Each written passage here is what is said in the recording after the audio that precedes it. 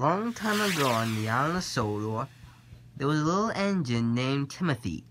He was an old, but kind engine. On wheels, a short-semi funnel, a short-semi boiler, and a short-semi dome. Same size as Thomas, but he was silver and had number zero, and he was taking the midnight passenger train.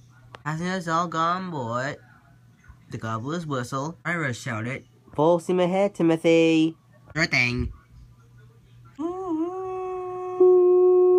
And head off down the line.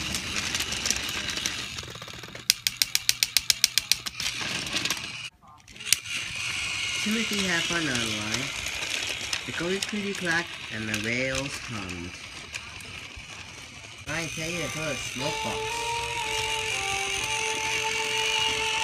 Then it happened. Timothy started to go faster and faster. Driver shouted, Timothy, what are you doing? But Timothy didn't answer. He just kept on going. The line was a viaduct being built with a cliff. Shouted, Timothy, don't! You'll kill us all!